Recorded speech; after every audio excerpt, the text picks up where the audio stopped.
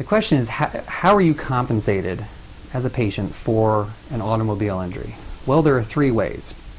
The first way is you are compensated for the injury itself, especially if that injury has caused a permanent impairment or a permanent injury that will be with you for the rest of your life. The second way that you're compensated is through lost wages.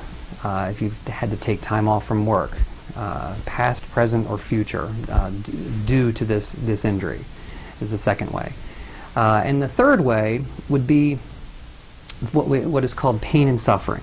Uh, essentially what that means is that, is that this injury has affected your activity, activities of daily living, your ability to bathe, your, your ability to do housework, your ability to uh, take care of yourself. If these things have been impacted, then uh, th that's, a, that's a negative effect on your activities of daily living. That would fall under the pain and suffering category. So those are the ways that someone is compensated from an auto accident.